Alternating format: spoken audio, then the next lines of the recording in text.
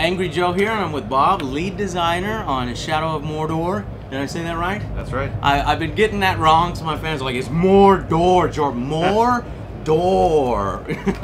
All right, so uh, I just got a hands-on with it. Um, I gotta say, it surprised me. This is a title that seemed to come out of nowhere, at least for me, and um, it's it's what I played was impressive uh, and very unique. They had this system. Well, I'll let you explain this system where um, you have like a hierarchy of different orcs and their command, and in Act Two, what you're really trying to do is. Uh, is uh, attack. Go, yeah, go Yeah, ahead. yeah. Tell us a little bit about this unique orc tribal system. Yeah, the, we call it the Nemesis system. Nemesis. And uh, and what it what it means is basically every enemy in the world to start with. You know, every guy you'd think of as like a generic grunt, uh, you know, cannon fodder type enemies. They all have this potential to actually kind of grow and get more powerful and become sub bosses and bosses in the game. And they remember you. They build a history and relationship with you. And we've got just mountains of, of content and dialogue to remember all the possible interactions you could have had and have them speak to it the next time you meet them. Which means Yeah, that I remember one time I got into a fight with one of them, right? And then uh, I lost. Because what was the guy's name? Irk the Killers? It was Irk the Unkillable. Unkillable, man. He truly was the Unkillable. He whooped my ass. And then, so I, I died and I went back to fight him again. And he said something that I think was from a previous fight that Yeah, we he had. probably It called was- you out on. I mean, it's probably pretty surprising when you think you killed somebody and they Yeah. show back up to, to take you out again. Is this some kind of joke? I killed you already. so yeah, th- so these guys will remember you, and and to, to do that, we also have to do something a little different where time moves forward. You know, you don't die, reload a checkpoint, replay the last minute of the game, right? It's always moving forward. So these guys are they're getting renowned. They're getting recognition for having killed this crazy uh, you know hero that's been kind of terrorizing them, right? So they'll get promoted, they'll become a captain. You can hunt them back down and get revenge, or uh, you know, the other big part of the Nemesis system is learning their strengths and weaknesses. So these guys are all procedurally generated. So no two playthroughs, you know, between you and your friends or the second time you play are ever going to be alike because these guys are built out of a lot of different dynamic parts and personalities. And so the, the strengths and weaknesses make a big difference too. That you know, if you're going after the unkillable. Uh, there's probably some vulnerability he's got that if you're careful and you plan and Yes. strategize, He you does not like to be burned. There and, you know, go. so trying to try to burn him, or he's weak to arrows, and you try to hit him with your arrows. Yeah, it's a unique system. Um, like I lost to him twice, and he kept moving up uh, on the hierarchy. But my goal was to like uh, brand him and Uh-huh. actually bring him under my control. How does that factor That's into right. the story? These guys are, are going up the hierarchy, but they're my agents within. Like, how does that work? So at the beginning of the game, you're you're killing them. You know, you're Yeah. you're just kind of slaughtering and getting vengeance and you know trying to weaken Sauron's army. But as you discover kind of more of the powers, you know, you're possessed by this wraith, this kind of ancient spirit of vengeance, and you're you're discovering the mystery of him throughout the game. But you're also growing his power and power in Tolkien. An has a- elf lord, correct? Well, we, we it- haven't said anything more than that he's a wraith. Oh, but it's fun to watch the internet speculate about who it might be. Okay. Well, it, I played it and it looked like an elf to That's me. a fair observation. All right. so, so as you get deeper into the game, the demo we're showing at E3 here that you got to play is, you know, two thirds of the way through the game. So, at that point, you've developed more of these powers, and one of the the critical things is in Tolkien, like the nature of power is to bend your enemies to your will. Mhm. And so, at, at this point, you're not just killing them. You can, yeah, you can brand them and make them yours, and they'll fight for you. And Mhm. so, if you get really tricky about it, you can set up some crazy situations. Oh yeah, no, because not only can you, I, I was branding like normal little infantry guys, and you can brand like.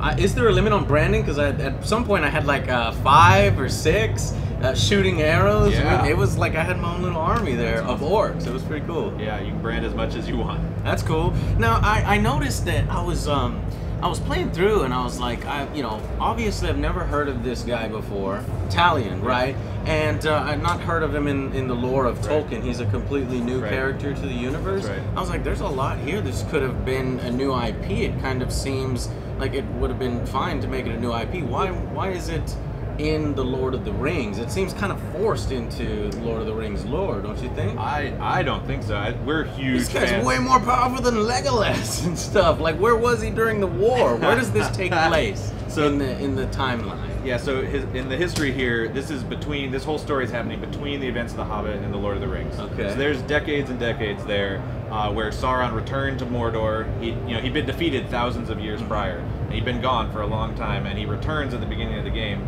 and kills you. Mhm. Uh, so you start the game as a as a dead guy, Mm-hmm. and you're resurrected by this wraith, this spirit of vengeance, you know, and he he gives you that power. So it's the mystery of figuring out who he is, but also you're a you're a human. I mean, in Tolkien lore, Mm-hmm. I mean, Tolkien is we're trying to be very true, not only to the canon details, but to the just authentic to the themes. You know, Mhm. it's about death and immortality, and and this guy, you know, the gift of Eru is like men are the species that is allowed to die. Elves Mhm. live forever. Men get to die, but Talion's not allowed to. Like he doesn't get the peace of death, right? Right. And so you're trying to kind of deal with that as well.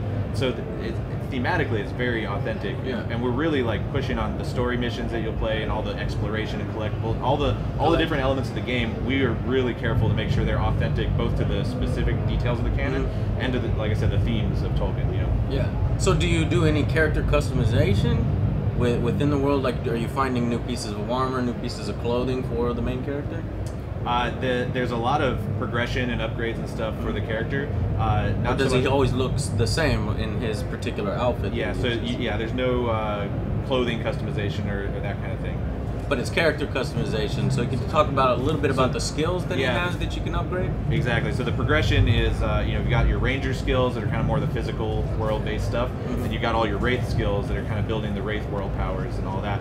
And then uh, those are kind of all the big meaty ones that give you like a new tool in the in the arsenal, right? Mhm. And then there's the weapons, which is a pretty deep system too. Where again in Tolkien, weapons are are real characters. Like they're characters in their own right. You got Glamdring, the sword Gandalf uses, and Sting, Frodo and Bilbo's sword. Mhm. These guys, they're weapons that have names and they have stories that are written on the blades. And so throughout the game, you're kind of also building the legend of your weapons and getting getting uh, their names and their stories written on the blades. And the Nemesis system there again like feeds in where you you build a personal kind of history with these guys, and then when you take them down, they're going to drop uh, runes that you kind of etch onto your blade. You're kind of carving the fate of your enemy onto your blade, and Mhm. that gives it kind of new powers and new upgrades. And so that's the other big kind of upgrade system. So this is Sauron's army that you're fighting. that's right. Do we eventually get to Sauron himself? I mean, that seems like that's not what happened in, in the books.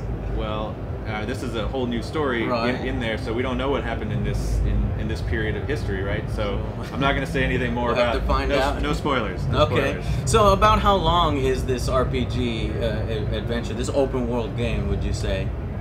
So- well, so it's a, it's a big game, Yeah. and there's a lot of optional stuff to do, Uh-huh. and the Nemesis system's kind of constantly generating new dynamic missions and stuff. So So no two playthroughs are gonna have the same Exactly. orcs. They'll all have different names. everybody will be completely different, different personalities, different strengths and weaknesses. So Uh-huh. Do you take do you take uh, branching paths in the storyline? Yeah, Anything like that? It's got a yeah. So even the main story missions are there's side missions and exploration collectibles, all that stuff. But the main story missions are also non-linear. Oh, um, it's actually structured uh, very similar to Red Dead Redemption, which Oh uh, my Christian- God, I love that game. So this yeah, is good. too. All good news. So Christian Cantamessa, the Yeah. lead designer and writer on Red Dead, actually wrote our story and worked with us on that. So Very cool. yeah, yeah, and so what we've seen in playtests when people come in just start at the beginning and play, it's at least 20 hours to Mhm. kind of typical playthrough go through, not doing all the side All the activities extra and all stuff. Yeah. That's good. And then you can replay it. Are there different endings, alternate endings, or does it is it one full complete story? You know, beginning, middle, end. Also, the, that's that's kind of the beauty of the Nemesis system is like you're constantly these guys get factored in and they're all kind of developing different relationships and writing their own different stories with you as you play. So Mhm. it always comes out a little different because of that. Okay, well, it's what from what I played, super impressive. Came out of nowhere. I actually really like the way he moves in the world. That was really smooth. Like if you you hold down X, uh-huh. and you know he traverses pretty much anything, jumps off pretty much anything. Doesn't take fall damage because the dude doesn't really die. Uh-huh. You know, doesn't get hurt, so he could pretty much go anywhere, do anything, kind Yeah. of thing, which I thought was pretty cool. Well. Thank you so much for taking the time to speak with us. Yeah, thank you. And uh, you guys check out the game, uh, Shadows of Mordor, and we'll see y'all on the next Angry Joe show. Where am I to lead this army of mine? I will show you.